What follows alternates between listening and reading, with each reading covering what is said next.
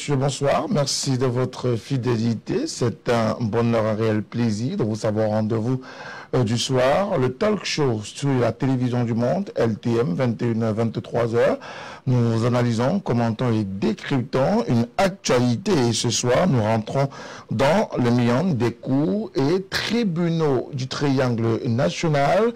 Nous allons aller comprendre et voir la réalité dans cet environnement, un environnement qualifié par des instituts comme étant l'un des plus corrompus du triangle national ou l'une des institutions les plus corrompues sur le pays. Pourquoi? Comment peut-on comprendre cette corruption ambiante au sein de la justice au Cameroun? C'est du moins la question que nous nous posons ce soir au regard de cette affaire qui a défrayé la chronique ce mardi, une affaire de présomption euh, de corruption au sein de la justice camerounaise et principalement au tribunal de première instance de Douala Bonanja où des avocats sont euh, accusés d'avoir tenté de corrompre un juge, notamment à l'aide d'une somme de 3 millions de francs CFA pour justement obtenir justice en faveur de leurs clients.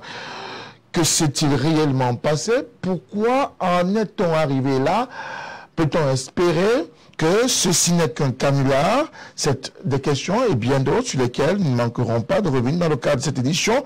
Mais il faut rappeler que ces deux présumés euh, corrupteurs, notamment avocats au barreau du Cameroun, ont été placés en détention préventive à la prison principale de Douala-Nebel, une situation qui a d'ailleurs irrité l'ensemble du barreau. Ces derniers ont assiégé l'entrée du tribunal de première instance de la Bounandjo ce mardi en mi-journée jusqu'en fin de soirée. Il a fallu l'intervention des éléments des forces de maintien de l'ordre pour ramener la sérénité au sein de ce tribunal. Le tribunal peut-il être inviolable?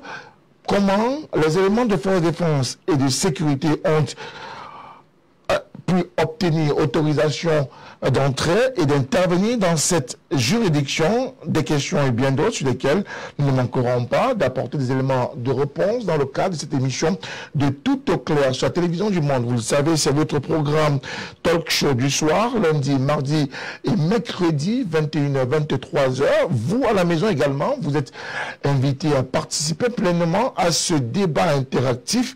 Deux points d'accès, 6 99 57 30 26 6 99 57 30 26 ou alors écrivez-nous directement à partir de notre page Facebook LTM TV officielle et vous ferez le débat avec nous. Vos contributions également comptent dans le cadre de ce débat citoyen sur la télévision du monde. Une fois de plus, mesdames, messieurs, bonsoir, bienvenue dans quelques instants le panel qui nous accompagnera dans le cadre de ce débat.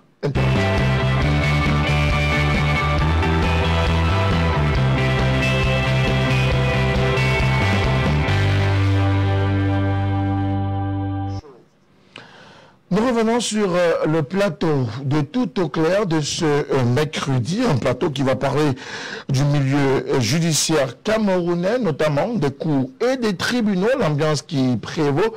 Mais peut-on estimer que la corruption ne fait pas son nid au sein de l'environnement judiciaire camerounais?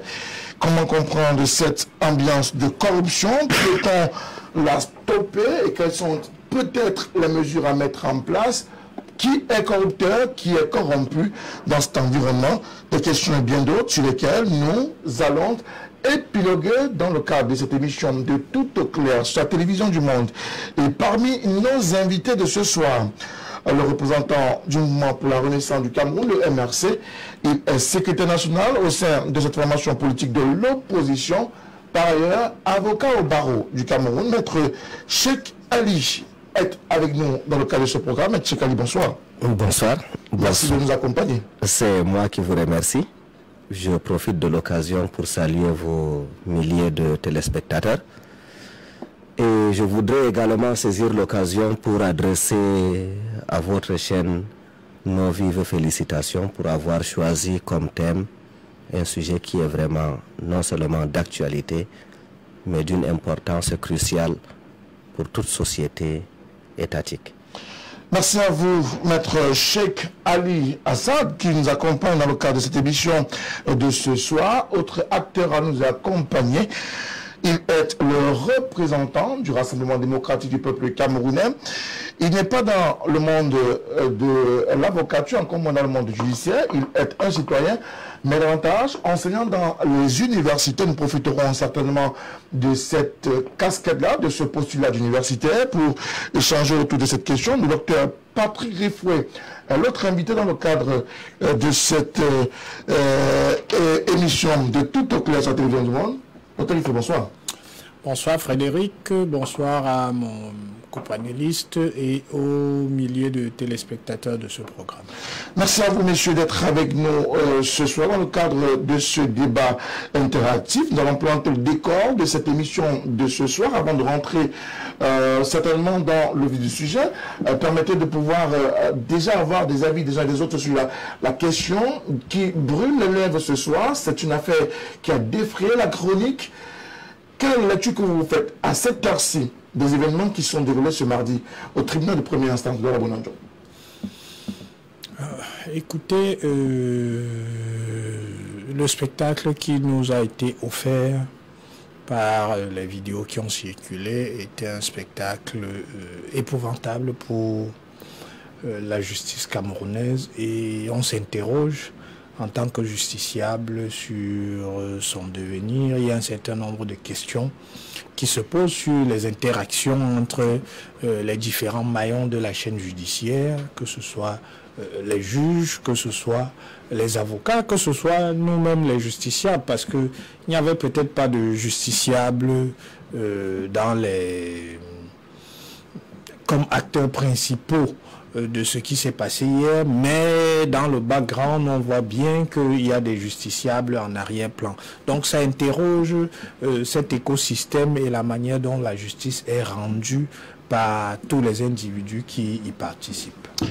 La justice est mal partie dans notre Cameroun, euh, notre chèque Oui, je... Ma, ma déclaration reflète la position du mouvement pour la renaissance du Cameroun. Nous avons toujours décrié l'état du système judiciaire camerounais. Tous les textes, la constitution, les ministres du régime de M. Biya, tous nous disent que le président de la République est le garant de l'indépendance du système judiciaire. Tout renvoie au président de la République. Et aujourd'hui, face à ces dérives, à ces manquements, à ces violations aussi graves, à ce retour en arrière du monde judiciaire, à ce temps, à ce temps sauvageusement, les mots nous manquent pour décrire ce que nous ressentons aujourd'hui au sein du MRC.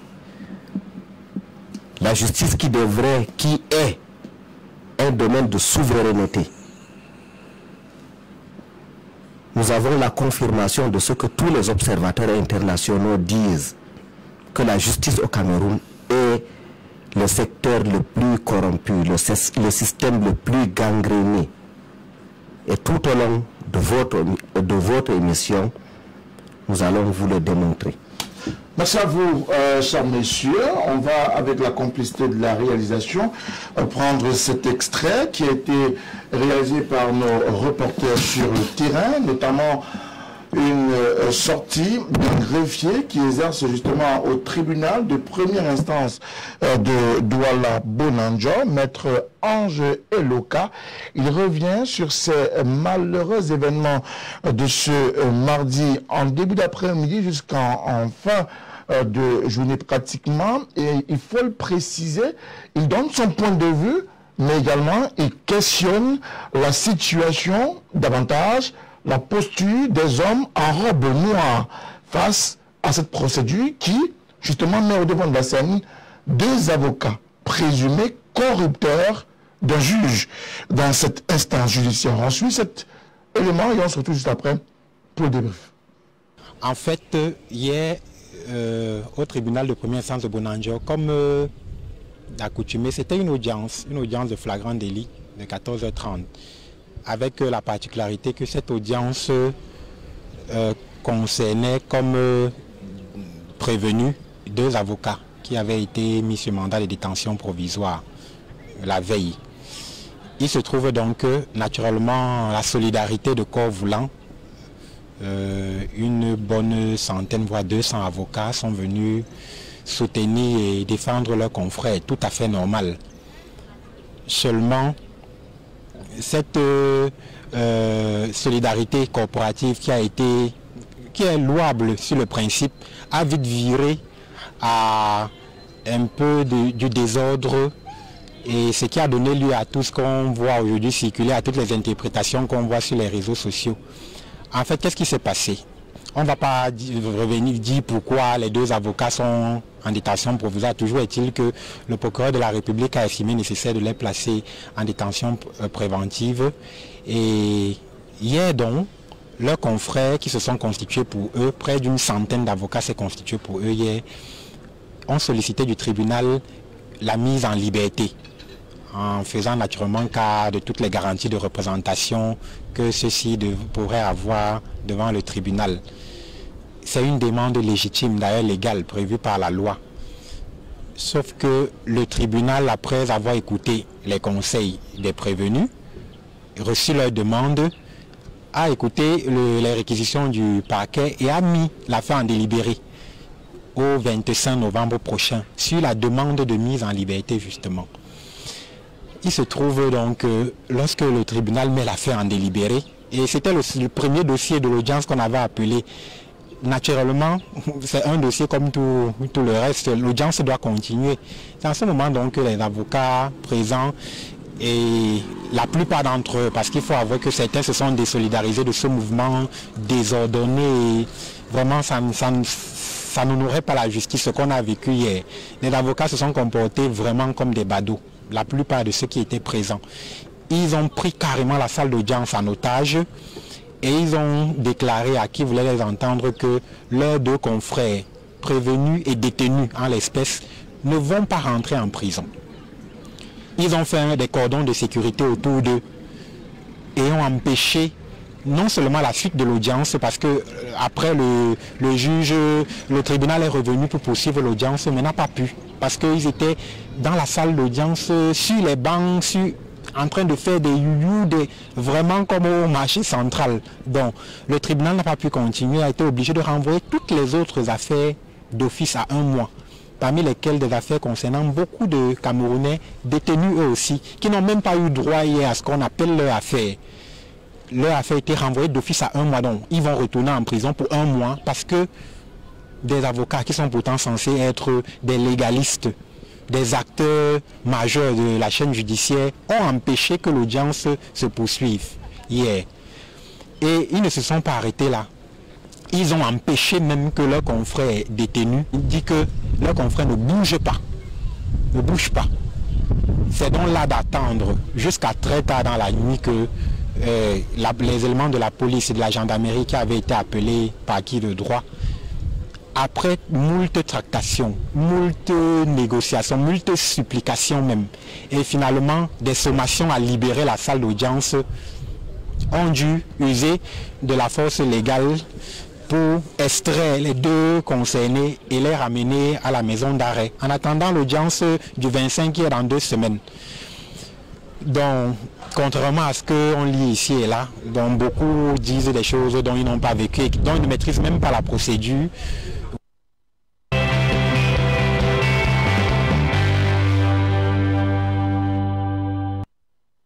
de maître Ange Eloquin que nous avons rencontré euh, ce euh, mercredi matin et qui nous présentait donc euh, la situation vécue ce mardi entre 14h et 30 minutes et 21h au tribunal de première instance de Douala Bounandjo. De son point de vue, ce sont des avocats qui ont pris d'assaut le tribunal de première instance, empêchant ainsi le bon déroulement des activités judiciaires en cette journée. Une situation euh, également qui a, conduit le barreau que nous avons d'ailleurs contacté ce matin pour avoir à la fois sa version des faits, mais également pour obtenir des éléments complémentaires en rapport avec cette affaire. Le barreau n'a pas euh, daigner répondre favorablement à nos différentes sollicitations. Nous avons eu le représentant du bâtonnier ce matin au téléphone qui nous a fait état de ce qu'elle recevait. Euh, le voilà le représentant du bâtonnier qui recevait le bâtonnier par intérim qui justement arrivait à Douala pour cette affaire et qui devait rencontrer le président de la cour d'appel du littoral et qu'elle nous reviendrait mais seulement après la dite concertation avec le président de la Cour, encore moins le bâtonnier. Donc nous n'avons que pour l'instant le communiqué qui a été euh, rendu officiel par euh, l'ordre euh, des avocats du Cameroun, un communiqué dans lequel il est mentionné en préambule ou alors en entame rappel de la Commission des droits de l'homme et des libertés du barreau suite au, de l'ordre dans la salle d'audience de Douala Bonanjo pour brutaliser des avocats en robe ce mardi 10 novembre 2020 est la preuve par 10 que les pouvoirs publics ne tendent aucune oreille attentive aux revendications légitimes de notre corps de métier, entendez le corps des avocats. Le Cameroun est reprimé avec violence par les forces de l'ordre. Autre réaction, toujours le communiqué, le jeudi 10 novembre 2016 à Bouya, les forces de l'ordre ont bastonné les avocats et confisqué leur toge en s'introduisant dans leur cabinet.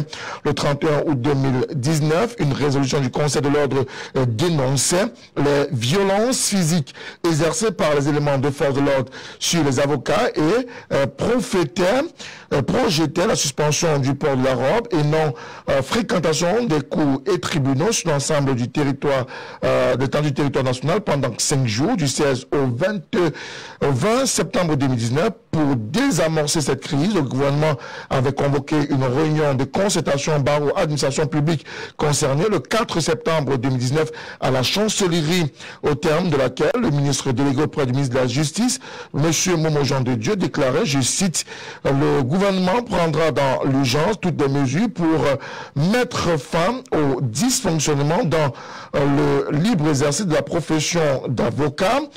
Toujours en rapport avec ce communiqué, on peut lire dans la suite, du 16 au 20 septembre 2019, les avocats ont déserté les cours et tribunaux conformément à la résolution du Conseil de l'ordre sans que cette absence n'empêche certains chefs de cour de retenir et de juger les affaires en l'absence des avocats. Une commission mixte barreau-justice a été mise sur pied suite à cette rencontre et ses conclusions restent toujours attendues, bloquées qu'elle euh, par la chancellerie qui ne convoque plus de réunions euh, des points focaux barreaux du Cameroun, gendarmerie, autorité pénitentiaire ont été mis sur pied dans toutes les régions pour pallier durablement à ces violences et à ces entraves à l'exercice professionnel. Mais entre le 20 septembre 2019 et le 10 novembre 2020, date des incidents de Bonanjo, en date est euh, sur euh, le président de l'Union des jeunes avocats du Cameroun, maître euh, Cosma Onombarga. Pourtant, l'indépendance de la profession d'avocat et partant l'avocat s'inscrit dans le cadre plus large de l'indépendance de la justice, c'est-à-dire l'affranchissement de tous les actes participants à la mise de à la mission de juger euh, de toutes sortes de pesanteurs susceptibles d'affecter l'exercice libre et efficace de cette mission. Pour citer le bâtonnier Charles Tchakouté euh, Patier de Reggaeté Mémoire, euh, cité dans le cadre du stage des avocats le 9 juin 2015 à Douala. L'indépendance de l'avocat est à la fois la condition nécessaire de promotion de l'état de droit et le moyen de sa sauvegarde. Le rappel de l'ensemble de ces éléments porter à la connaissance des avocats camerounais nous semble utile dans la gestion des événements de Douala parce que la suivi professionnelle euh, de 3570 des avocats en dépend. C'est signé Maître Christian Daniel euh, Bissou, qui est donc le président de la commission euh, des droits de l'homme, des libertés au sein du barreau du Cameroun. C'est jusqu'ici la seule réaction que nous avons du barreau du Cameroun, puisque nous n'avons pas pu rentrer en contact téléphonique ou contact physique avec soit le bâtonnier en personne, le bâtonnier par intérim, qui est parti d'ailleurs de Yaoundé, maître Tangana, euh, pour Douala, et encore moins le euh, le représentant ici à Douala, Maître euh, Bateki. Voilà donc ce qui euh, ressort des éléments que nous avons au moment où nous entamons cette émission dans le cadre de cette édition de Tout au clair de ce mercredi. docteur Patrick Rifoué, vous avez certainement entendu ce communiqué. Vous avez suivi avec beaucoup d'attention la réaction de ce greffier en service au tribunal de première instance de Douala. Bonanjob, peut-on estimer que les avocats ont, permettez-moi l'expression, débordé des ailes dans ce tribunal Écoutez, euh, je suis particulièrement déçu par le ton qui est victimaire du communiqué du barreau. Euh, j'aimerais rappeler, euh, je vais un peu faire mon Elimbi Lobé. Je vais lire quelques textes qui se rapportent à la loi numéro 90 059 du, du 9 novembre 1990 portant organisation de la profession d'avocat. Je commence par l'article 5. Nul ne peut exercer la profession d'avocat s'il ne remplit les conditions suivantes. Je lis une seule condition. Être de bonne moralité. Article 57. L'avocat fautif encourt l'une des sanctions suivantes. Le rappel à l'ordre, l'avertissement, le blâme, la suspension temporaire pendant une période ne pouvant excéder un an, la radiation du tableau de l'ordre. Article 62. L'exercice de l'action disciplinaire ne met obstacle ni aux poursuites que le ministère public ou les particuliers peuvent intenter devant les tribunaux répressifs, ni à l'action civile en réparation du préjudice résultant d'un délit ou quasi-délit. Il me semble que dans le cas suivant, nous sommes à minima dans une situation de quasi-délit. J'attends encore que le Conseil de l'ordre se saisisse de cette affaire pour engager une procédure disciplinaire à l'endroit de ces deux avocats qui sont manifestement des avocats véreux. Moi, j'ai une question très simple que je pose à l'ordre des avocats du Cameroun, qui me semble fonctionner aujourd'hui comme un syndicat du crime. C'est-à-dire que quand vous en faites partie, vous avez le droit de commettre des délits et puis on va se constituer en groupe pour venir vous libérer, fût-ce par la force, comme ça s'est passé à entendre le témoignage de ce greffier. Donc, l'avocature aujourd'hui, euh, c'est un viatique pour se débarrasser de la loi. Quand on est avocat, on est au-dessus des lois. C'est ce qu'ils sont en train de nous dire. Et cela n'est pas acceptable pour des hommes de loi, justement. Ce que nous disons, c'est que euh, il y a eu un usage de la force, mais c'était un usage légitime et proportionné si je m'en tiens au récit qui nous est fait là. Euh, c'est dommage que nous ayons des avocats qui soient, au lieu d'être des plaideurs, des rabatteurs, dont le travail consiste plutôt à aller chercher de l'argent, à aller rançonner des clients au motif qu'ils vont trouver un arrangement avec des juges pour que euh, la balance penche de leur côté. Il ne me semble pas que ce soit cela euh, les fondements de la profession d'avocat.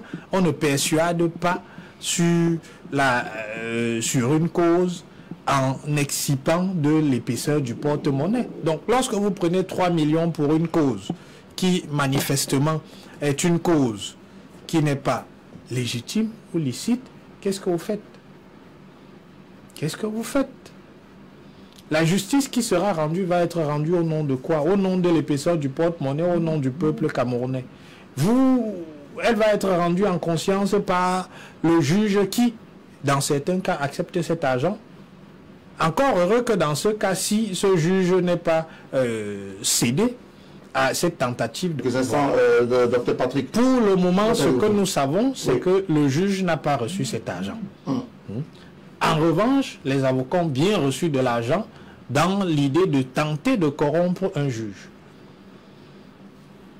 Il ne me semble pas que euh, la profession d'avocat soit devenue une profession dans laquelle euh, on fait profession soit de raquette, soit de, de, de, rabatteur. Je ne pense pas que ce soit de ça qu'il s'agisse. Donc moi, je suis extrêmement déçu par le comportement de cette corporation qui vient protéger des membres qui sont manifestement des membres pas très honnêtes, qui sont des membres dont la probité est remise en cause, qui sont des membres qui entachent le corps judiciaire. Et moi, j'ai souvent entendu la petite musique des avocats sur les juges.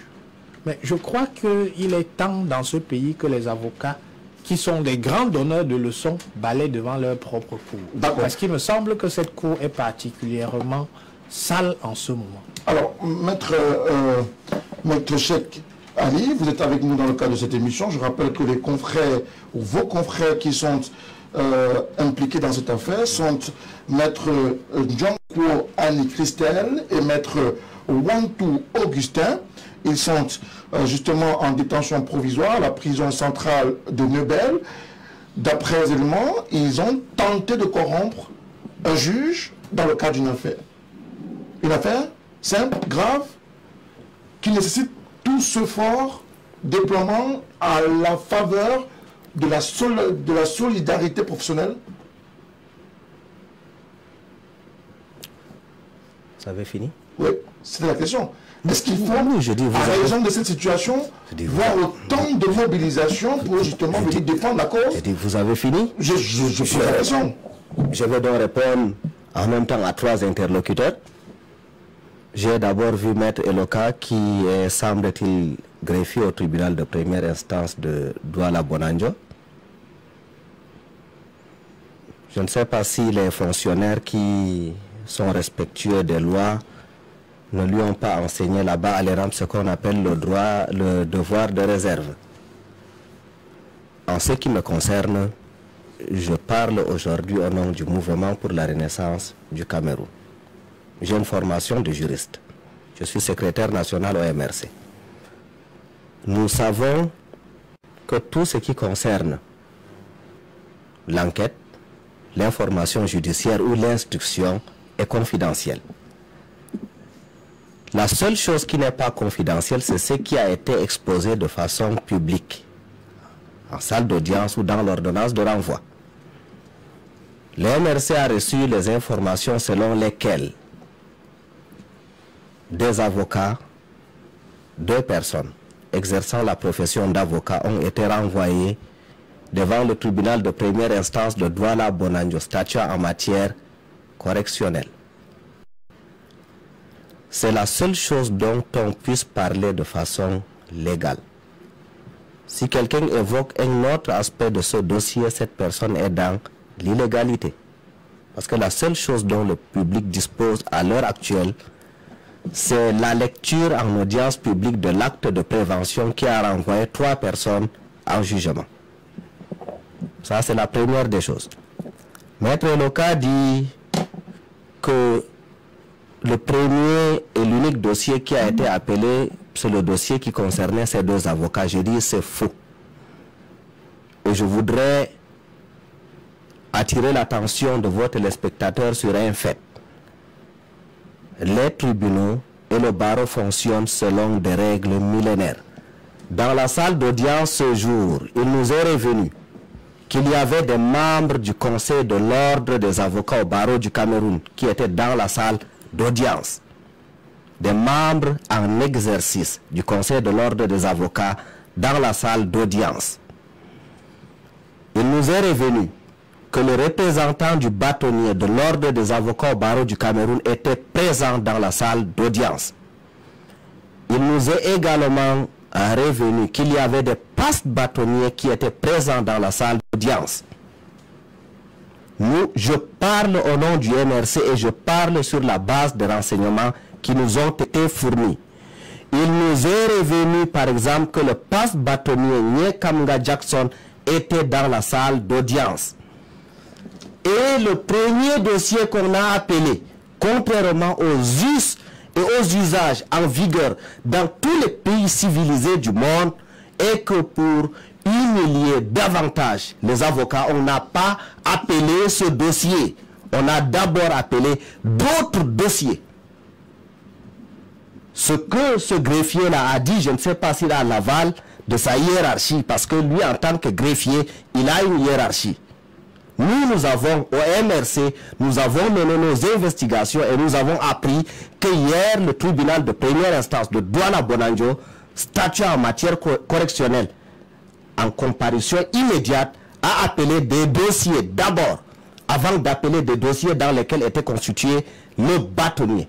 J'y continue. Dans, dans, le cadre de cette affaire, justement, on a appelé, nous avons rencontré également ce matin des avocats au barreau du Cameroun qui ont d'ailleurs pris la parole à cette, euh, durant cette procédure. Ils nous ont confirmé que seule l'affaire de euh, liée à cette procédure a été convoquée. D'ailleurs, elle a été suspendue plusieurs fois. Euh, on n'a pas pu tenir dans le temps les autres procédures qui avaient été enrôlées d'ailleurs pour Vous parlez des incidents qui ont eu lieu après qu'on ait appelé le dossier dans lequel étaient impliqués deux avocats. J'ai dit avant qu'on appelle ce dossier, on a d'abord appelé un autre dossier. Malgré le fait qu'il y avait des membres en exercice du Conseil de l'ordre. Ok. Une fois que cela a été fait. Une fois que cela a été fait. Votre docteur a une conseil. C'est pas notre docteur, c'est docteur Ifoui. Oui, en quel domaine, en quelle spécialité, s'il vous plaît? C'est pas le plus important. Il a parlé de quasi-délit. Nous ne sommes pas en matière de quasi-délit, docteur.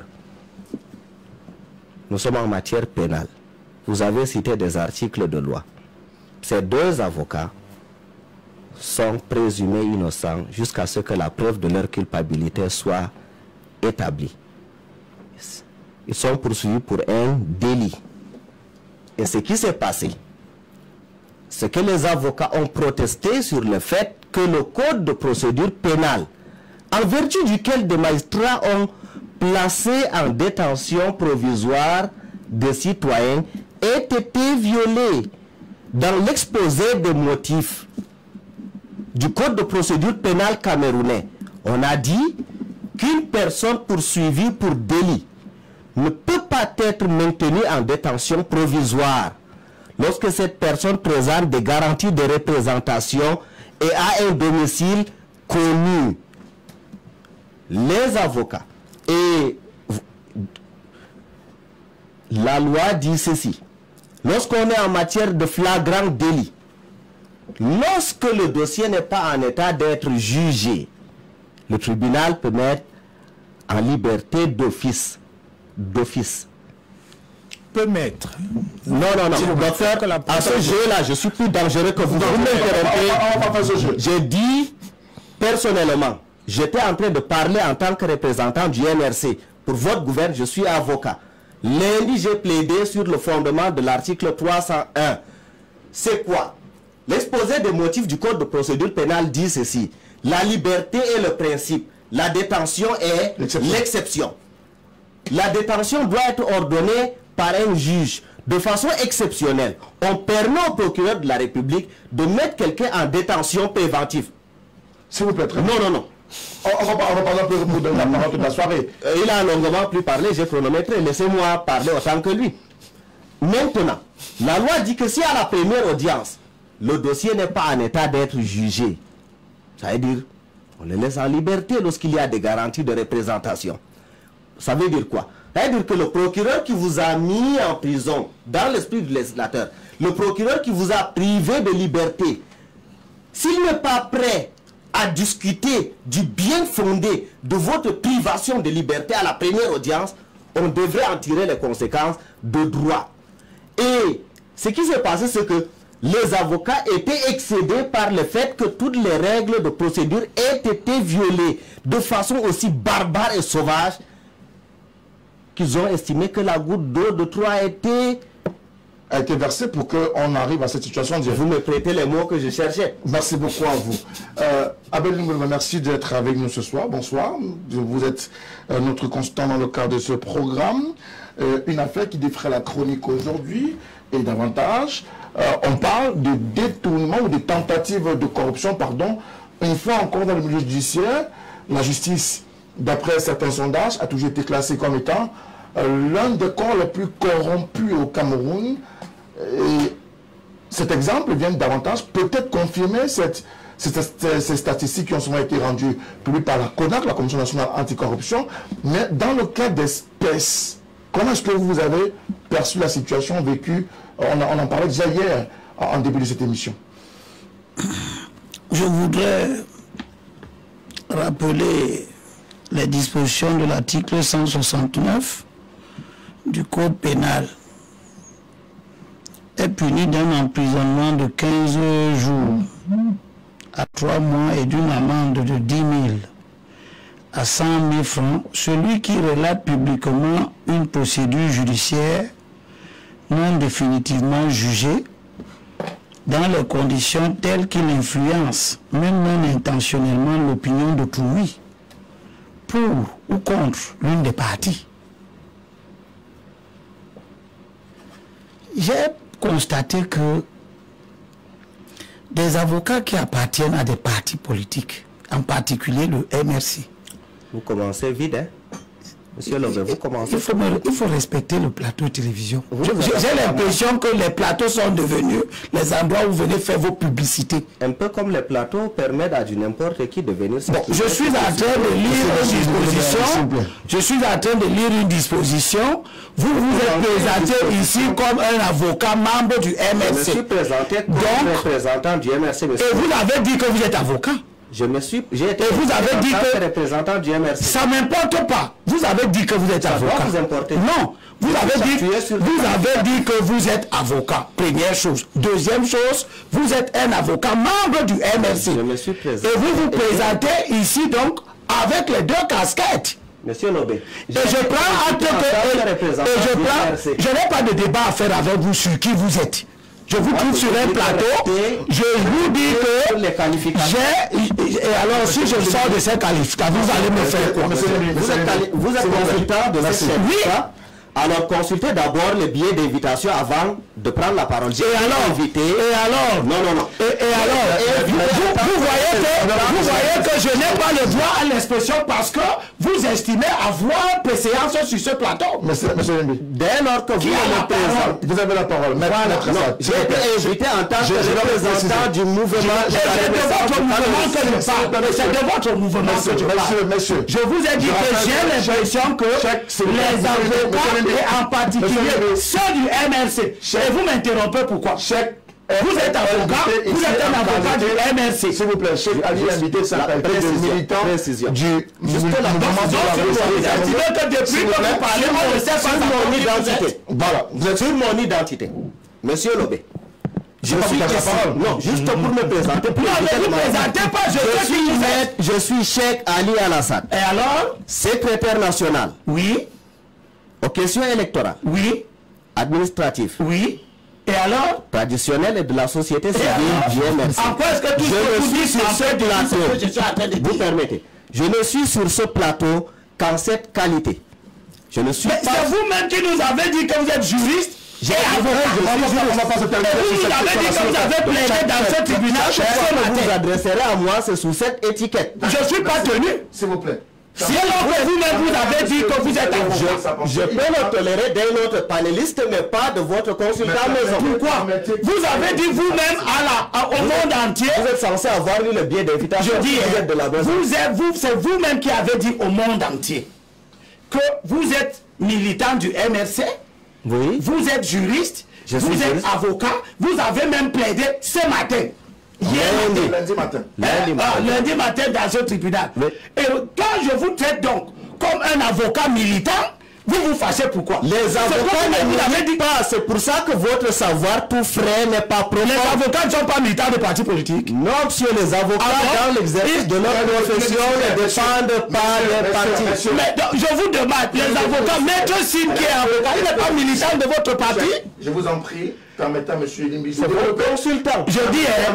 Maître Sim, vous. Maître Sim qui est vice-président de votre parti, il n'est pas Merci militant. Je laisse passer, je suis Mais qu'est-ce que vous venez de nous apprendre là? Il faut avoir un peu d'humilité. vous quand apprendre parce que vous savez rien. Les avocats sont militants. Vous avez dit que vous êtes play. C'est votre consultant. Je dis, hein, les avocats ne sont pas des militants de parti. Merci, chèque. Maître Pensi est avocat, il n'est pas militant du, MS, du. S'il vous plaît, maître, monsieur. Mais vous, vous-même, vous vous présentez comme militant d'un parti, vous êtes avocat et on vous traite comme tel, vous commencez à vous, à vous faire de la diversion et vous croyez que vous pouvez intimider les gens. Bon, je vous lis donc un article et je dis que le sentiment que j'ai quand je vois comment des avocats militants de partis politiques et en particulier du MRC se comportent vis-à-vis des affaires qui sont pendant dans les tribunaux.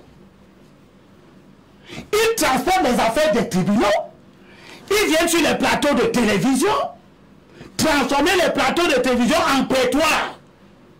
sans avoir en face de les magistrats auxquels ils doivent répondre au tribunal. Et comment toutes les affaires pendantes a l'intention visible et manifeste de donner l'impression que la justice est mal rendue. Il s'agit pratiquement des dispositions de l'article 169. C'est de ça qu'il est question. Vous venez ici mettre en cause un officier de justice. Un, un greffier. Vous venez nous parler de ce qui s'est passé au tribunal. Mais vous refusez au greffier, lui, de parler de ce qui s'est passé au tribunal. Quels sont ces comportements? Qu'est-ce que cette affaire fait dans les mains du MSC nous dit avec euh, beaucoup de condescendance que le MSC a reçu des informations.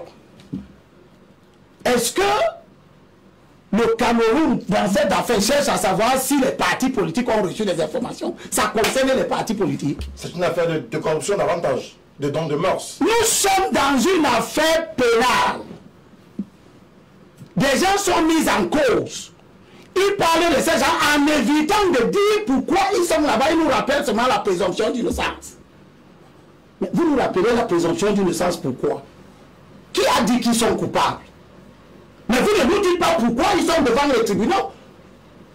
C'est ce traitement à géométrie variable d'une information que vous refusez à d'autres de donner qui fait problème et qui met en cause la présence du MSC dans cette affaire. Vous voulez politiser une affaire qui n'a rien de politique. Qu'est-ce que le parti politique MRC vient faire dans cette affaire? Ce sont ces militants Attendez, je veux savoir. Alors, qu'est-ce que le parti politique MRC vient faire dans cette affaire? C'est ça que je ne comprends pas. Une affaire est pendante devant un tribunal. Oui. À peine elle commence, vous avez un parti politique réputé pour son instrumentalisation de toutes les affaires. On tue les gens, vous instrumentalisez. On, deux personnes sont poursuivies pour euh, une affaire de corruption, de mœurs et tout. Vous vous, vous, vous impliquez là-dedans. Qu'est-ce que vous faites là-dedans? Vous avez entendu le SDF s'occuper de cette affaire? Vous avez entendu le NDPC s'occuper de cette affaire? Bon, je passe à l'essentiel. Ça, c'était un préalable que je ne comprends pas pourquoi il y a des commentaires tendancieux. Parce que le commentaire de ce monsieur, le commentaire de ce monsieur vise à montrer que le juge, le procureur, le greffier, bref, le corps de la magistrature est en faute. Le communiqué sur la question des droits de l'homme vient faire quoi dans cette affaire? Qu'est-ce que ce communiqué du barreau est venu faire dans cette affaire?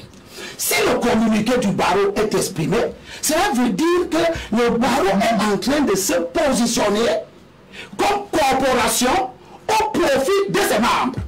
C'est de ça qu'il est question. Le comportement, la production de ce communiqué montre que le baron n'est pas en train de prendre les distances nécessaires pour, un, que la manifestation de la vérité se fasse. Deux, il est en train de se positionner pour faire un acte corporatif visant à soit protéger ou défendre un membre de son corps. Imaginons donc qu'on continue dans cette voie et que les magistrats qui sont aussi une corporation. Je pense qu'ils ont aussi un ordre. Ils n'ont pas d'ordre? Non. Bon, les magistrats n'ont pas d'ordre. Félicitations à votre consultant là. Mais je ne je, je, me suis pas comme vous. Vous avez, vous avez la prétention de ne pas savoir. Moi, moi j'ai la prétention de ne pas savoir qu'ils se sont Ce qui ne les empêche pas. Hmm? Consultant quoi Consultant une information que vous défiez. Monsieur Limé, vous voulez connaître mon profil académique? Oui, hein? Moi, je ne connais pas le vôtre. Je vous le dirai. Mais vous le direz pourquoi il fallait le Merci. Je termine, je termine la que je disais. Imaginons donc que les magistrats décident aussi de se mettre dans une solidarité de corps on va aboutir à quoi? À la confrontation de deux corps, avec la différence que vous, vous avez la parole et le bavardage, les magistrats ont le pouvoir. Ok, merci. Alors, euh, docteur, Vous qui, vous les avocats, vous les avocats du MFC, qui inondez les plateaux de télévision, vous Non, non, je Vous Vous dites que le bâtonnier de l'ordre des avocats ne vous a pas répondu. Non. Si M. Lobé, dans ses divagations, veut s'adresser au barreau du Cameroun, mais il connaît Madame le bâtonnier. Et alors, et Je ne alors, pas le barreau je, ici. je, je, je suis en train de fomenter les informations que vous avez fomentées vous-même. Merci beaucoup, monsieur Elimbi. Vous, vous Merci. commentez les informations, vous, avez, et vous estimez que les autres citoyens ne peuvent pas les commenter. Est-ce que tout à l'heure vous avez entendu le, le docteur euh, euh, Maître Cheikh le dire Il y a dans la démarche une volonté manifeste d'humilier les avocats et d'humilier le barreau. Alors. Est-ce qu'on est dans cette posture ou alors il est question davantage de reconnaître que des faits plus ou moins graves auraient, je préfère le dire ainsi, auraient été posés et que c'est davantage ces faits qui doivent retenir l'attention, notamment une tentative de corruption? Bon, première chose, euh, l'avocat du MRC sur le plateau prétend qu'eux, ils ont mené une enquête. Bon, je ne savais pas que le MRC était devenu un organe de presse où on mène des enquêtes pour établir les faits et les porter à la connaissance du, des Camerounais. Je le découvre ici et je salue leur travail d'enquête. J'attends qu'il soit publié et porté à la connaissance de tous les Camerounais. En attendant que cela soit fait, je m'en tiens au témoignage de ce greffier qui manifestement est un témoin oculaire de ce qui s'est passé. Donc euh, son témoignage fait davantage sens pour moi que euh, l'enquête présumée qui aurait été commise par le MSC dont personne ne connaît les conclusions. Et même les motivations. S'il vous plaît. Une fois, une fois que j'ai dit ça, une fois que j'ai dit ça, effectivement, j'ai indiqué que c'est une situation regrettable. Mais je l'ai entendu dire que euh, le principe, c'est euh, la liberté, liberté et la détention, c'est l'exception. Sauf que lui-même, il a précisé que le juge peut mettre en liberté. À partir du moment où c'est laissé à la libre appréciation du juge, ça signifie que le juge a parfaitement le droit d'accéder à la demande de, des avocats ou alors de suivre les réquisitions du parquet. Dans le cas d'espèce, le juge a choisi de suivre les réquisitions du parquet et de maintenir en détention les, détenus. Est-ce que c'est illégal? C'est tout à fait légal. Et lorsque cela est dit, qu'est-ce qui se passe? Les avocats, si je m'en tiens au témoignage de ce greffier, entreprennent de faire obstruction l'application de cette décision qui est une décision provisoire. Cela n'est pas acceptable. Mais avant d'arriver à l'obstruction... Oui, euh, je vais arriver. Je, vais, je vais arriver. Je vais arri- je un vais- juge qui est cité dans une affaire Je- vais- je- euh, des avocats avec la complicité de leurs euh, Je- clients sont allés à la rencontre Je vais- je- je vais- juge je- à raison d'un deal. je vais arriver à la question de fond. Cela n'est pas acceptable. Parce que si vous êtes insatisfait d'une décision de justice, il y a des voies de recours qui sont des voies légales. Est-ce que ces avocats qui ont décidé de faire obstruction à l'application de cette décision-là, qui ont empêché que la justice soit rendue à d'autres Camerounais qui avaient des affaires pendantes, c'est-à-dire que vous avez des gens qui auraient pu être relaxés hier et qui vont attendre 30 jours supplémentaires parce que des individus, par réflexe corporatiste, ont décidé de prendre en otage le palais de justice. Moi, c'est un comportement typique de la Camorra. Mais il faut défendre euh, les intérêts d'une corporation, d'un- d'une profession même d'ailleurs. Ah, Il faut défendre les intérêts. monsieur Il faut- le- Monsieur le- il faut défendre les intérêts. Il faut défendre les intérêts. prétention d'être Il faut défendre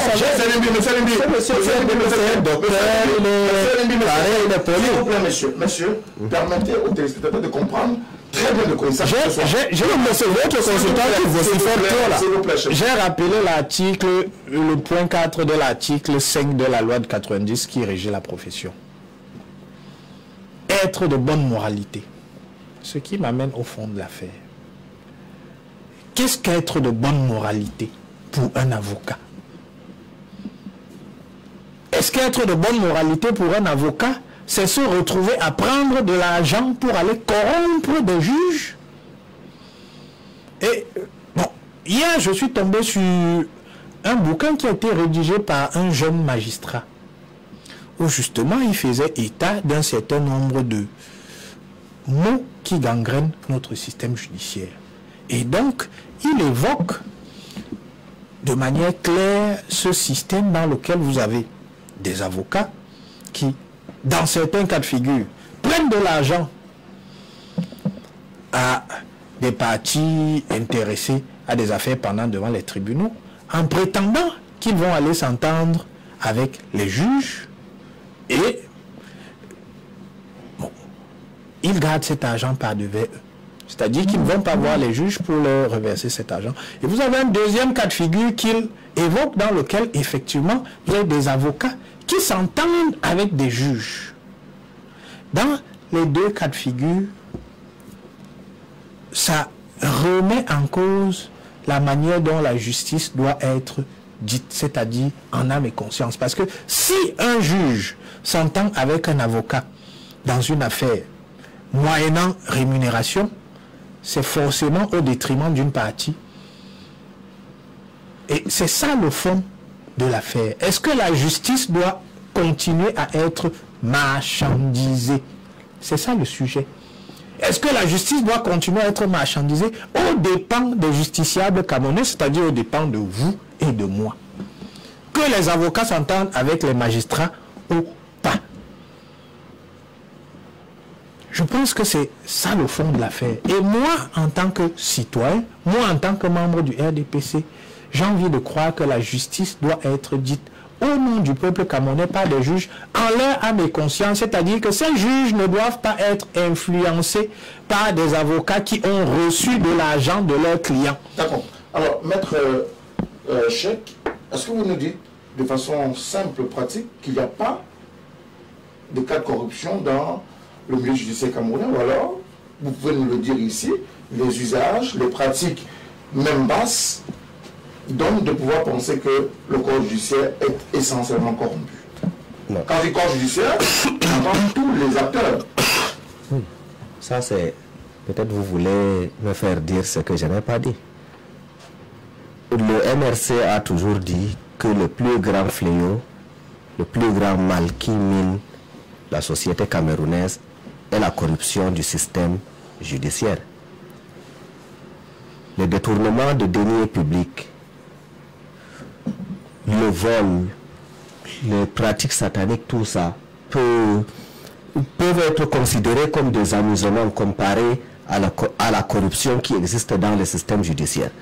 Mais par corruption, nous englobons aussi bien le monnayage des décisions de justice, le trafic d'influence, le système même de recrutement dans le système judiciaire. Vous avez cité le Ulrich Xavier Ovona.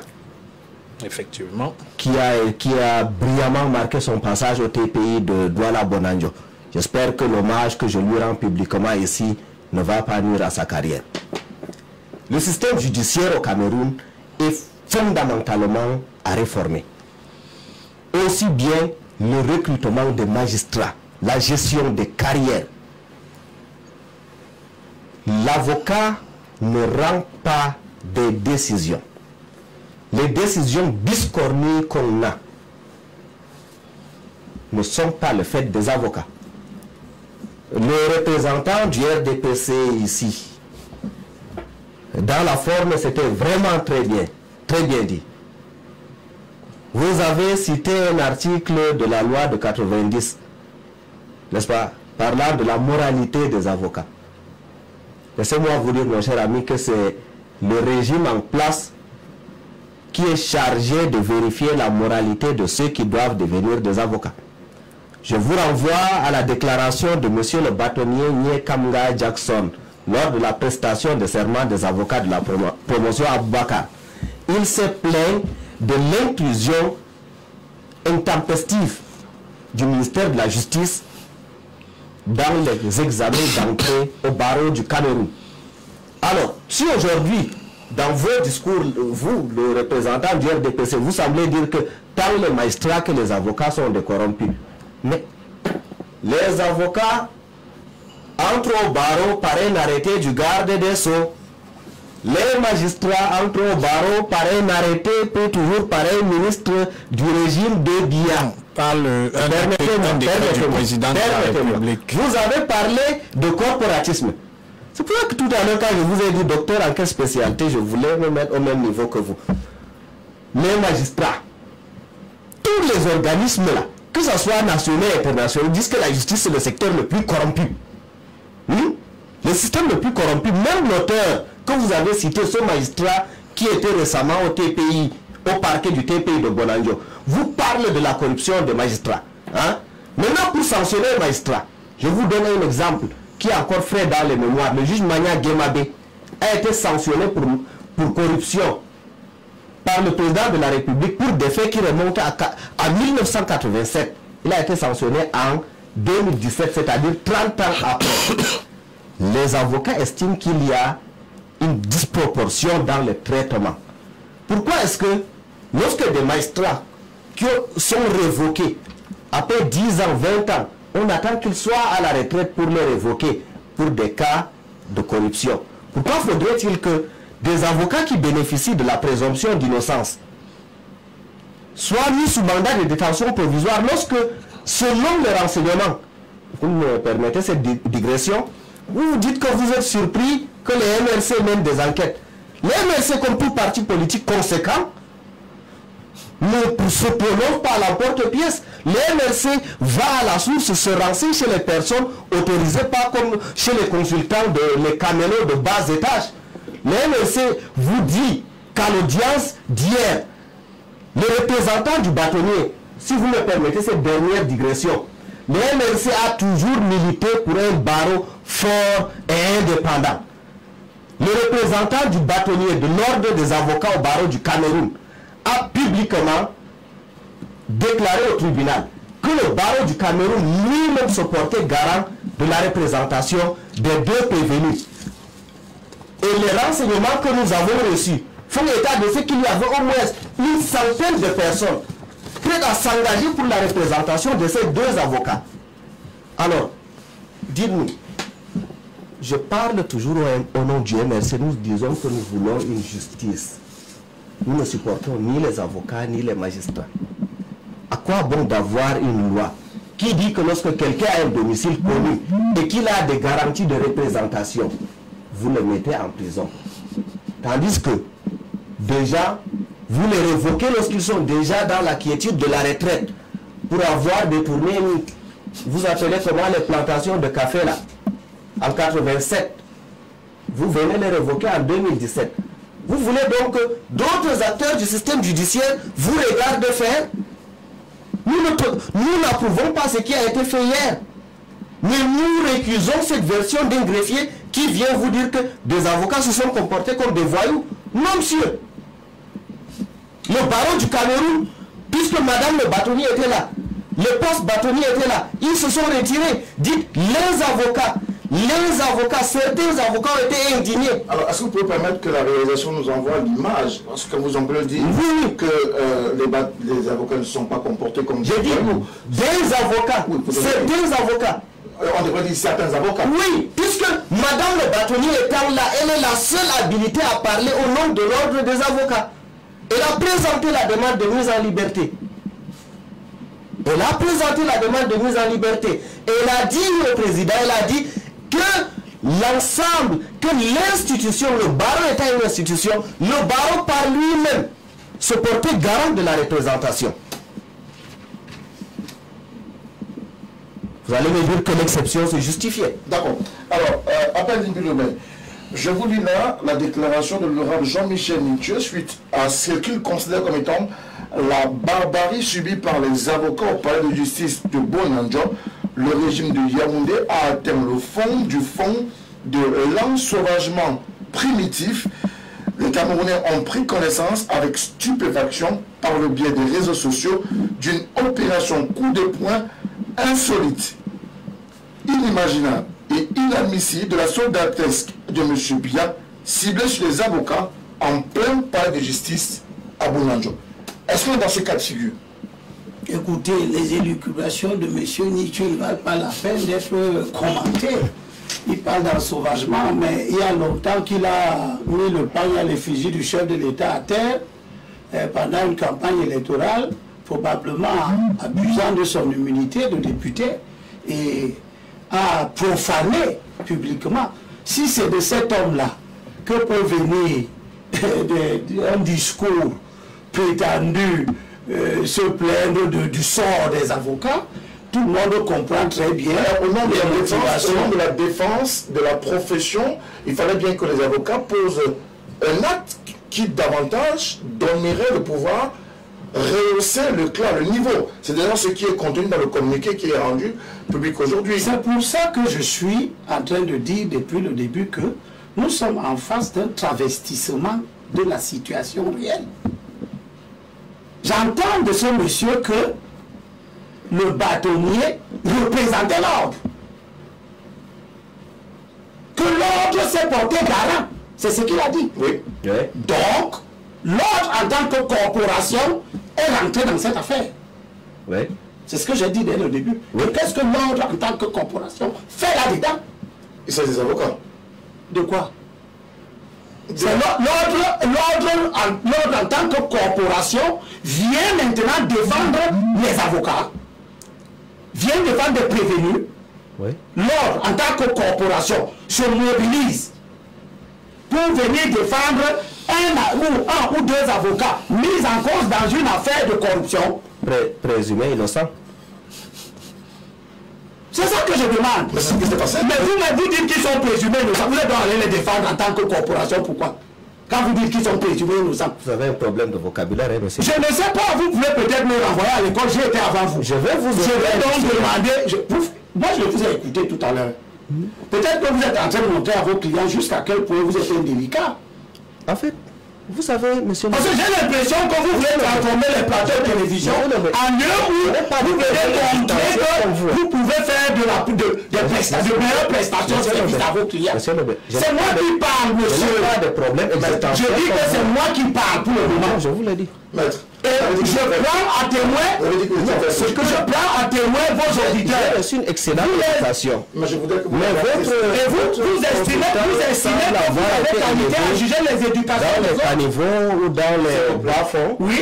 vous avez intérêt à le discipliner. Oui, c'est parce que vous avez une bonne éducation que vous avez discipliné. Je- je- J'admets mal, j'admets mal que lorsqu'on parle d'une institution comme le barreau du Cameroun, une institution qui est respectée tant au niveau national qu'au niveau international, dès le début de cette émission, malgré peut-être ma forfanterie ou l'estime que j'ai de moi, j'ai clamé Orbi et Orbi que ici je n'ai pas, je ne me sens pas le droit de parler au nom du barreau du Cameroun. Je continue à préciser que vous ne parlez pas au nom du barreau du Cameroun, vous parlez en, en- en qualité de militant du, du mouvement pour la raison du Cameroun qui nous a été euh, coté dans le cadre de cette affaire. Ces paroles venant peut-être, et si elles avaient été prononcées par le- mon co-panéliste du RDPC, je n'aurais je, je n'aurais pas Je- pris. je- Mais venant de quelqu'un qui nous invite puisqu'il est de la Alors, je maison. vous supplie, je vous supplie de laisser M. Limilo parler et ensuite on pourra faire le débat. Sinon on va rester euh, statique sur ces questions de qualification et autres. On n'avancera pas. Merci Ça beaucoup. fait la deuxième fois que je suis gravement interrompu. Je vous en prie, allez-y. J'espère que c'est la dernière fois. Restez dans les limites de plaît. Ce monsieur qui prétend, qui nous a dit qu'il est avocat, et qui nous a dit qu'il est militant d'un parti, qui nous a dit qu'il ne parle pas en tant qu'avocat, il ne défend pas la profession, c'est lui qui nous a dit que le barreau s'est porté garant. C'est ce qui ressort d'ailleurs de, de tout ce qui a été entendu au Ça veut donc dire, ça veut donc dire, ça veut donc dire que il y a une mise en action d'un mouvement corporatiste. C'est ça que ça veut dire. Mais qu'est-ce qu'un délit a à voir avec des corporations? Qu'est-ce que c'est que cette déformation et cette dérive où une profession est en train d'envoyer un message à la société tout entière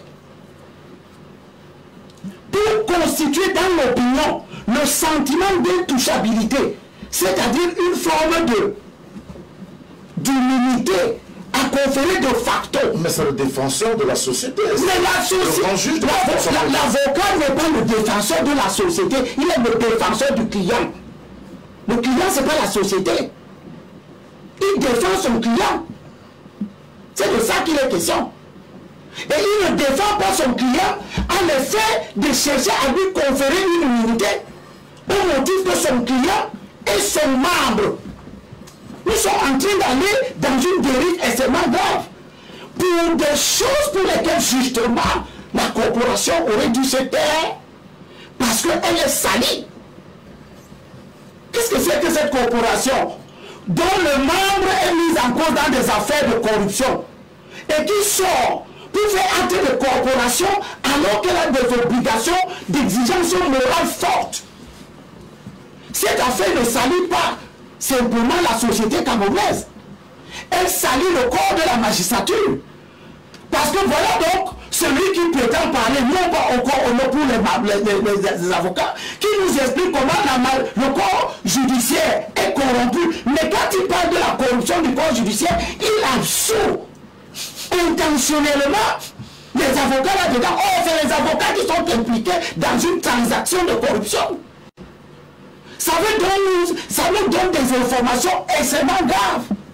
Ça veut donc dire que, et c'est ce que le docteur disait tout à l'heure, on est en train de nous informer que les avocats sont l'un ou l'un des acteurs de cette corruption. Parce que quand on nous parle de la corruption de la magistrature ou de la justice, on ne nous dit pas, ceux qui en parlent ne nous disent pas que nous les avocats, nous faisons partie de cette corruption-là. Ils font comme si cette corruption, c'est la corruption des magistrats. Vous voyez jusqu'à quel point représentant du MRC qu'il est, il essaye d'utiliser ça pour impliquer la politique et surtout le gouvernement parce que nous sommes dans une phase où une organisation politique essaye de saisir n'importe quelle affaire parce qu'elle croit que cette affaire-là peut l'aider à renverser, c'est-à-dire à réaliser son rêve politique qui n'est plus un rêve démocratique. C'est de ça qu'il est question. Est-ce que dans le cas d'espèce, on peut estimer que les avocats, au regard de cette situation, ont voulu se mettre au-dessus de la loi? Mais lorsque vous, par des voies de fait, vous décidez d'empêcher l'exécution d'une décision de justice, vous faites quoi? De facto, vous mettez au-dessus de la loi. Et je pense que c'est à leur corps défendant que les magistrats ont dû faire appel aux forces de maintien de l'ordre pour établir un peu la sérénité et surtout permettre que ces deux détenus puissent, ces deux prévenus puissent être extraits et ramenés euh, à la maison d'arrêt. Il faut rappeler que c'est quand même une procédure de flagrance parce qu'ils ont été arrêtés le jour précédent. Donc moi, je me serais attendu, rendu ce jour à ce que le Conseil de l'ordre ouvre un dossier disciplinaire à l'encontre de ces avocats indélicats parce que, comme l'a rappelé Limbi Lobé, ils salissent toute la profession. C'est bien de parler de la corruption dans le système judiciaire, on en parle tous les jours. Mais en règle générale, quand on en parle, c'est pour indexer la corruption des magistrats. Et très souvent, ceux qui font ce procès-là, ce sont des avocats. Et je constate que Maître fait la même chose. Par réflexe corporatiste, il est en train de refuter le corporatisme, mais lui-même, il est dans un réflexe corporatiste extraordinaire sur le plateau. Je veux simplement lui rappeler que euh, quand il prétend que les juges ou les magistrats, on les sanctionne quand ils atteignent l'âge de la retraite, il y a un président de la cour d'appel de l'Est qui a été sanctionné en 2014. Je ne sache pas que ce monsieur qui était encore en fonction était déjà en retraite. Il a mentionné le juge Manyanga Mabe, qui a été sanctionné par le Conseil supérieur de la magistrature, révoqué. Je ne sache pas que ce monsieur avait déjà été admis à faire valoir ses droits à la retraite. A contrario, moi, je suis allé, quand vous m'avez euh, fait parvenir votre invitation, je suis allé sur le site euh, de l'Ordre des avocats du Cameroun. J'ai regardé sur l'onglet Conseil de l'Ordre pour voir les décisions parce que j'étais curieux de voir s'il y avait des décisions sanctionnant des avocats pour leur conduite indélicate. Il n'y en a pas.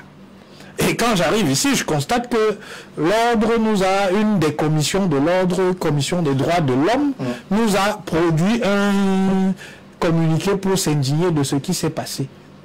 j'attends encore et je souhaite vivement que le Conseil de l'ordre mette de l'ordre dans son tableau.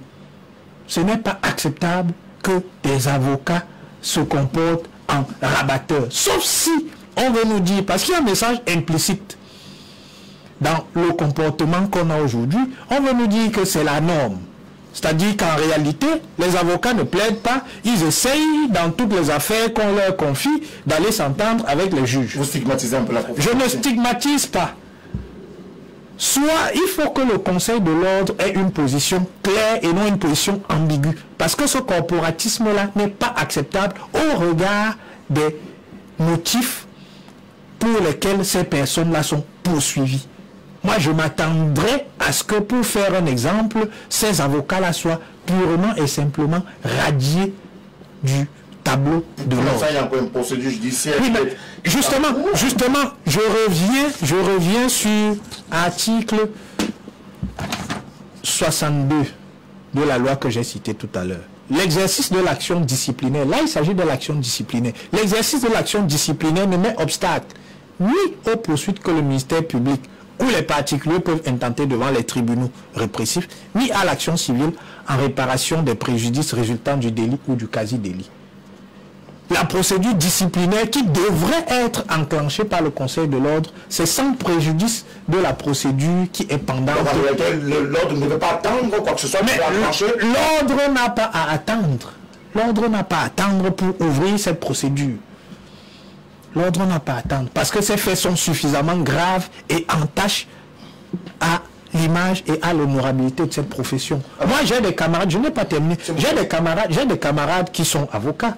J'ai des membres de ma famille qui sont avocat, je respecte cette profession.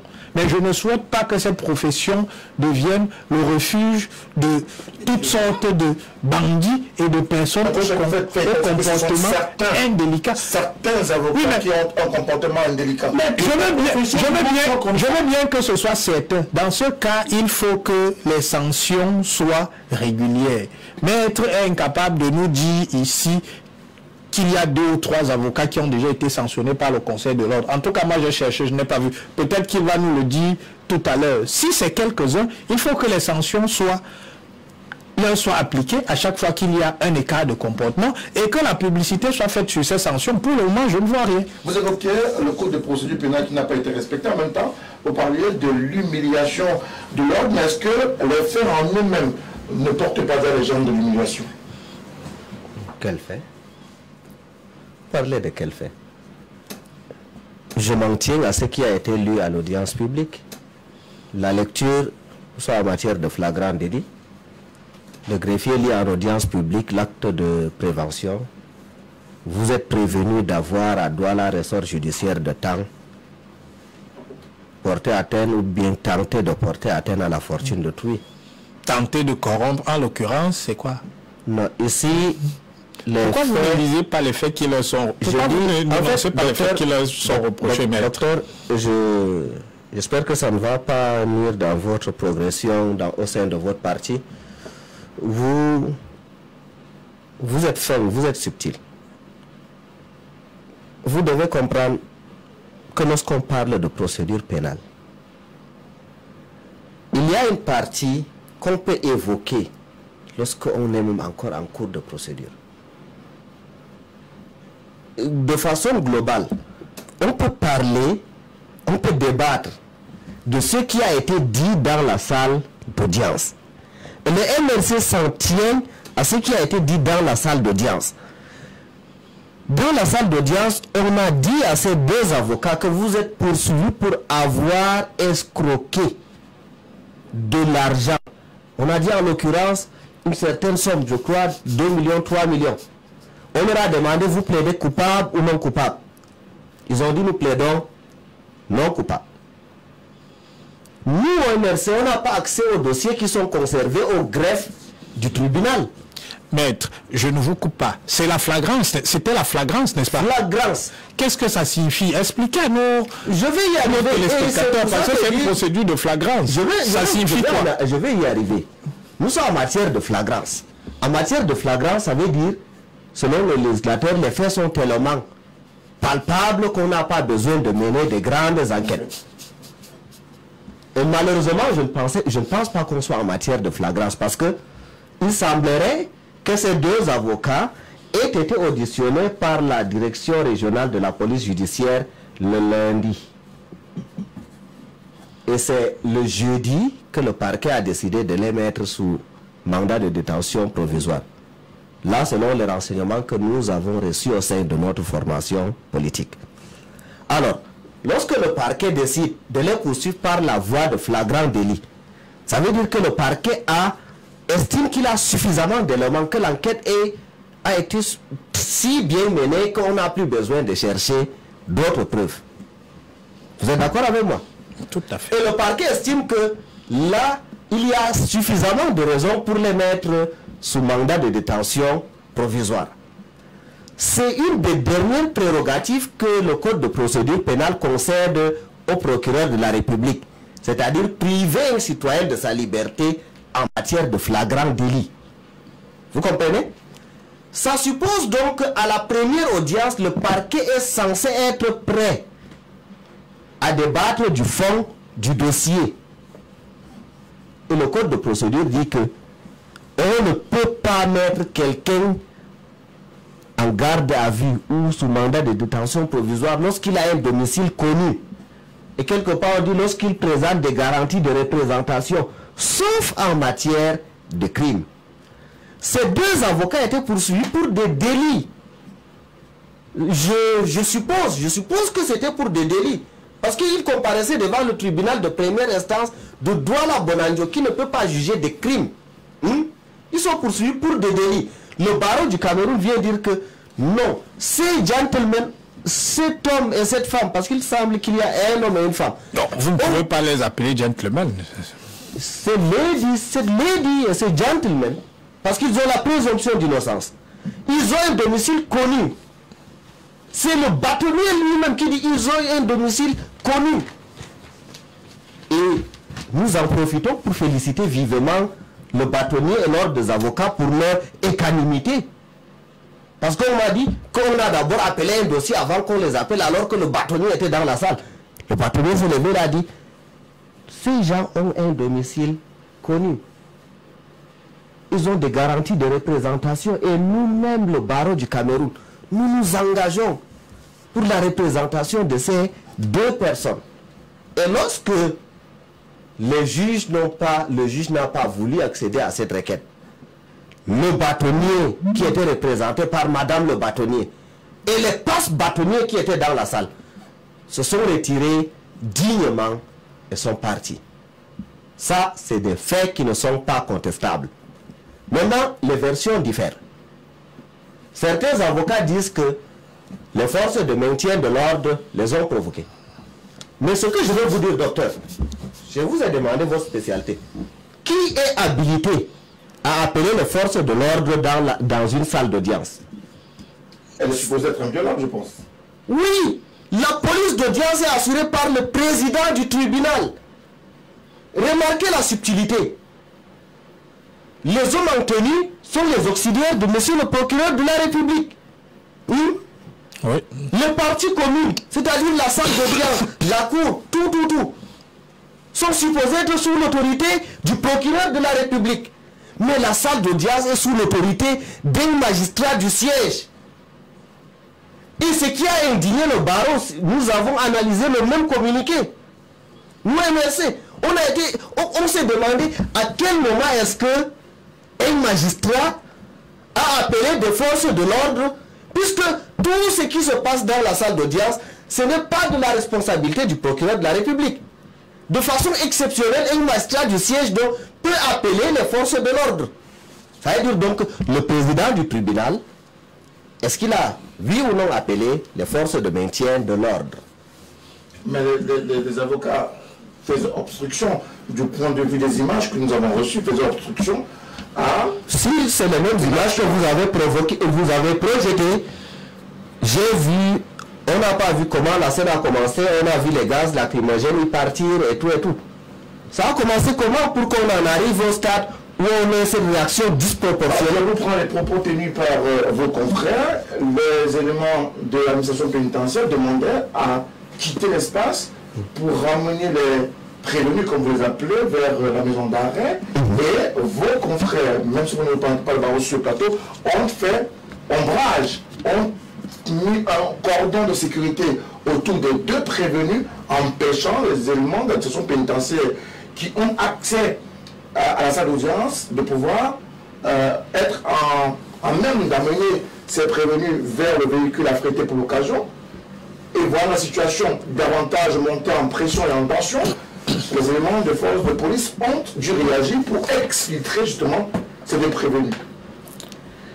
Euh, nous, quittons le terrain solide des faits pour entrer dans le, dans le domaine de la spéculation. Comment est-ce que les choses euh, en sont arrivées à ce stade?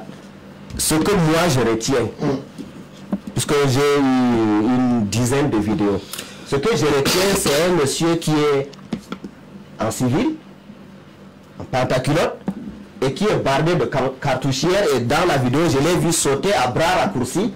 J'ai vu, j'ai vu des, des images qui me, qui me rappellent le début de ce qu'on a dans la zone du nord-ouest et du sud-ouest, c'est-à-dire des hommes en tenue bastonnant allègrement des avocats. Ils ont dit qu'ils n'ont pas été bastonnés par les éléments de police, qu'ils ont été... Il semblerait qu'un avocat du nom de Hugues Tchemo a été mis sous morphine, c'est-à-dire un dérivé de la cocaïne pour avoir reçu un euh, euh, euh, une bonbonne de gaz lacrymogène dans la, la manche de sa robe qui a explosé, raison pour laquelle il a été, euh, il a subi ce, ce service corporel. Donc, même- Il s'agit de Mathieu Djoko, selon nos renseignements. Non, laissez-moi vous renseigner, non? Non, je vous dis également les éléments que j'ai reçus. Oui, Nous je avons dis, il, effectivement, c'est lui qui a eu la main brûlée par une grenade lacrymogène et on a été obligé d'enlever les parties nécrosées. Mm.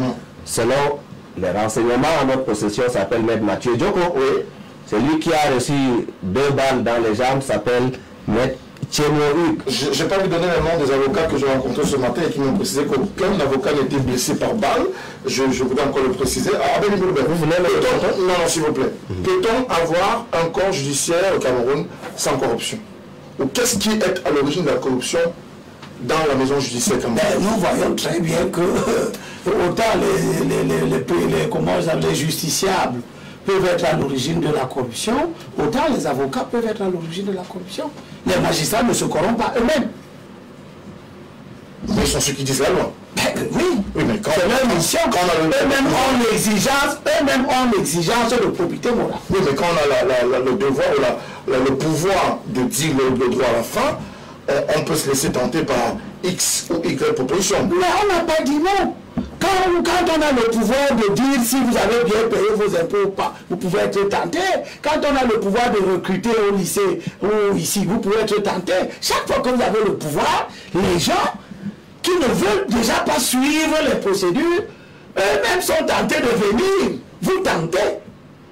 C'est de ça qu'il est question. Mais ce que cette affaire nous apprend, c'est que la corruption qu'on croyait être celle des magistrats, elle est induite souvent par les avocats. C'est ce que cette affaire nous apprend. Je sais stu- stupéfait par les acrobaties supposées intellectuelles de, de, de, de M. Cheikh. Maître Chef pour vous. Mais euh, je vous appelle monsieur, vous vous fâchez. Je vous appelle maître, vous vous fâchez. Finalement, je vous appelle tout simplement chèque. Ok. Parce qu'à ce moment, vous serez dans, dans la casquette que vous voulez. Je suis surpris par vos acrobaties. Vous dites ici que vous n'êtes pas là pour parler au nom du barreau, mais vous ne faites que parler au nom du barreau. Vous dites que vous avez, vous avez vos enquêtes, et vous nous dites que vos enquêtes ne vous ont pas dit ceci ou cela, mais vous, vous les présentez comme des enquêtes. Et je me demande en qualité de qui vous enquêtez dans cette affaire. Une affaire qui se déroule complètement à l'intérieur du tribunal. Vous enquêtez là en qualité de qui? Si ce n'est parce que vous voulez en faire un objet de débat politicien. Pour le moment, je note que c'est le seul parti politique au Cameroun qui s'est saisi de cette affaire. Et je suis en plein. Depuis que je me force de ne pas parler d'une procédure, je vois comment un avocat, au motif qu'il est en train de parler au nom d'un parti politique, parle comment une procédure a l'effet de montrer que cette procédure-là est mal faite. Et ça, c'est ce que la loi, l'article 169 interdit. L'article 169 vous dit que celui qui relate une procédure, il s'agit de relater. Vous n'avez pas à venir sur un plateau de télévision, commencer à dire on a fait ci, on a fait, on est, on est les parents ne les a pas pris, etc. Il faut que ces comportements-là cessent dans ce pays. C'est de ça qu'il est question. Qu'est-ce que vous nous dites que le, le, le, le représentant du, du, du, du, du bâtonnier, bâtonnier. Mais le bâtonnier, il est, le bâtonnier est un avocat. Il était là à titre individuel en train de défendre son client ou il était là en tant que bâtonnier En tant que bâtonnier. Voilà, ça veut dire qu'il avait actionné une procédure corporatiste. Et c'est ça la question que je pose. Faut-il aussi que le président de, de, du Conseil supérieur de la magistrature vienne pour protéger son, son magistrat? Qu'est-ce que le président de l'ordre, qu'est-ce que le bâtonnier, en tant que bâtonnier, est venu faire dans cette affaire où les avocats et qui peuvent avoir leurs confrères commis pour les défendre sont là Qu'est-ce que le bâtonnier est venu faire là-dedans Pour proposer que le baron se porte au dara? Voilà la dérive. Et c'est cette dérive qui écume les plateaux de radio et de télévision depuis hier matin à l'effet de montrer que la justice fonctionne mal. C'est de ça qu'il est question. Mais je le, le problème, c'est que vous n'avez pas montré dans une procédure que la justice fonctionne mal, puisque vous êtes en train de la mettre en cause. C'est ce que la loi nous dit. La justice est partie dans cette affaire. Elle-même, la justice, elle est partie dans cette affaire. Il parle de ça dès le début. Il ne nous dit pas pourquoi ces gens sont poursuivis. Il évite de nous dire. Il nous dit simplement qu'il y a une présomption d'innocence. Mais la présomption d'innocence n'absout pas la poursuite. On vous demande, ils sont poursuivis pourquoi? Il quitte chez lui comme représentant d'un parti politique. Il vient parler d'une affaire qui ne concerne pas les partis politiques, qui concerne la justice. Il est avocat. Il dit qu'il ne représente pas le baron, mais c'est du baron qu'il parle. Vous voyez, c'est-à-dire que les gens ont l'impression qu'ils détiennent une science qui les autorise à avoir des acrobaties et que les gens, les, tous ceux qui écoutent, les auditeurs, les téléspectateurs, ne se retrouveront pas et ne verront pas le côté pervers des agissements qui ont cours. Je rappelle encore ici ce que dit le premier président de la Cour suprême, qu'il y a des comportements manifestement illégaux ou de libertinage. Et nous sommes en plein dans des comportements de libertinage. Et même des comportements illégaux. Qui prétendent tirer sur leur source de liberté. Est-ce que le baron doit défendre son membre alors que son membre est dans une action qui n'implique que sa responsabilité individuelle? Si un avocat me tue ici maintenant, le baron va venir mais ils font l'objet de, de, de, de faits d'humiliation. C'est donc pourquoi partout. C'est lui qui le dit. raison pour laquelle le baron, le baron monte vous voyez, décrié. Vous voyez, donc, vous voyez donc comment nous sommes en plein dans la dérive condamnée par l'article 169 du Code pénal. Vous venez dire que les magistrats ont humilié. Ça veut dire que vous voulez que l'opinion retienne que les magistrats sont mauvais. Et c'est ce que l'article le, le, le, 169 condamne on dit celui, à condition telle qu'il influence même non intentionnellement l'opinion d'autrui.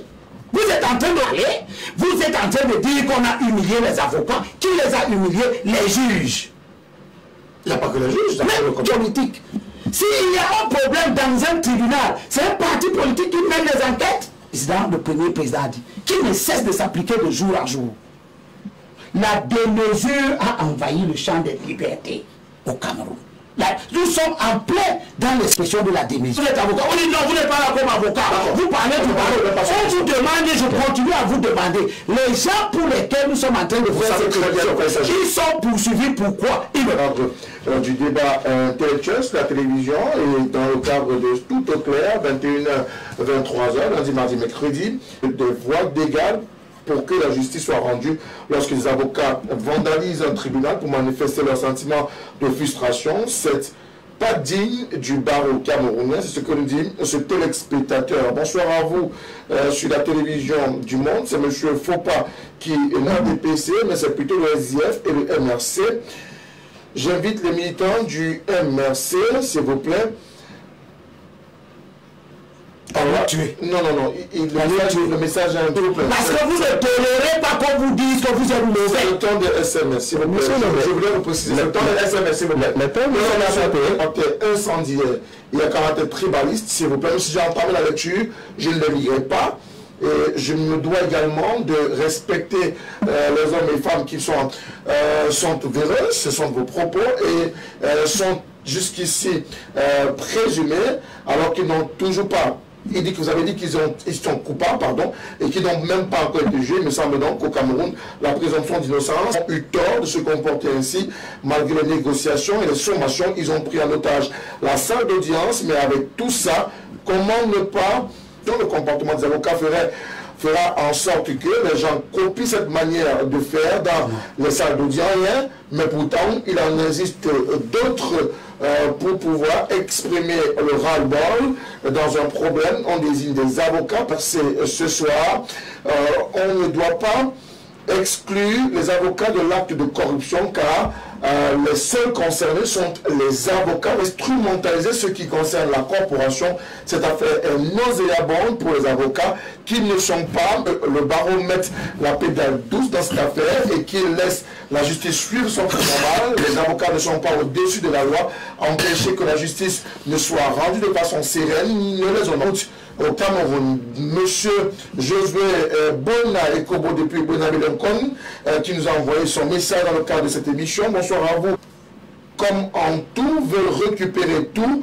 Euh, ce parti n'est pas qu'il reste loin d'un certain nombre de plateaux de télévision plutôt respectables et dignes comment les gens peuvent avoir le courage de défendre n'importe quoi.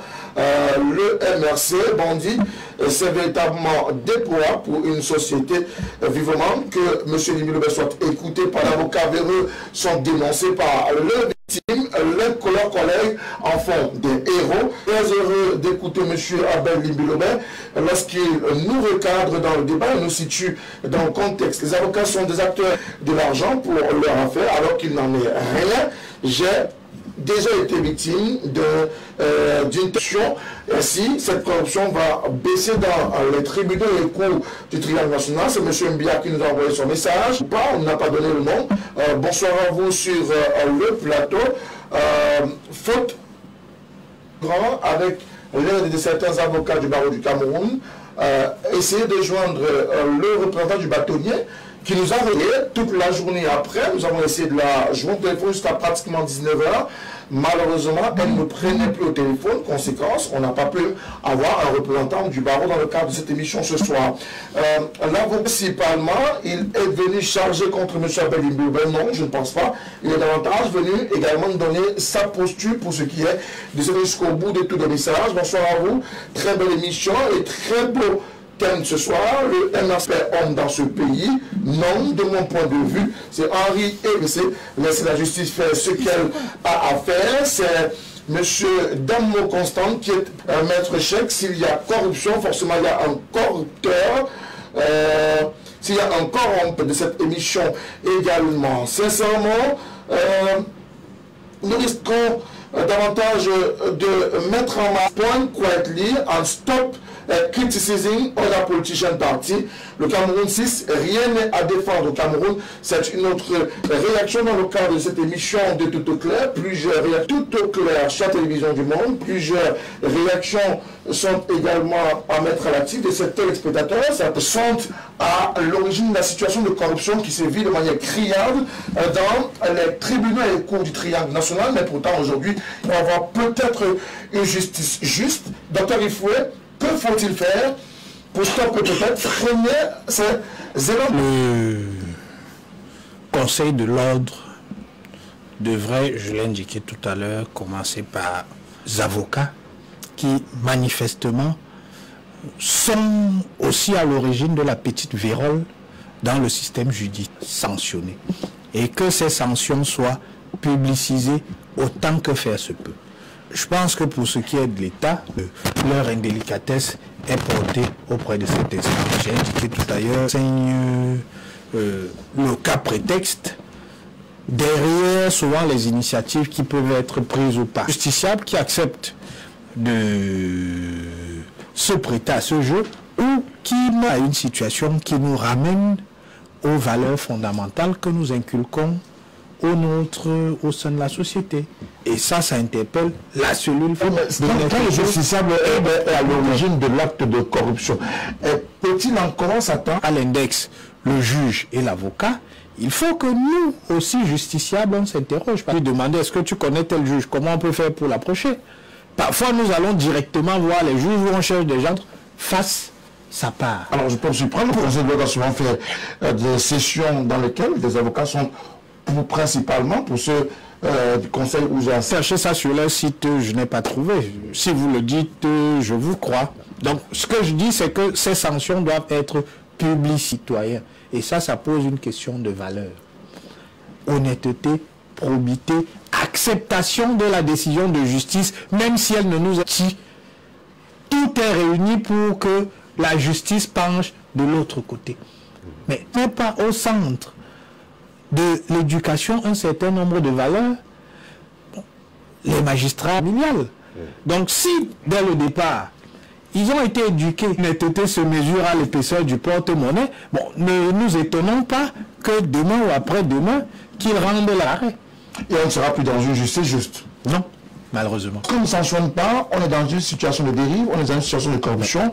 Doit-on maintenir, quel que soit le secteur, dans le corps judiciaire Comme c'est ma dernière parole, je vais rapidement répondre à... Je ne suis pas sûr que ce sera votre dernière parole, ce sera aujourd'hui.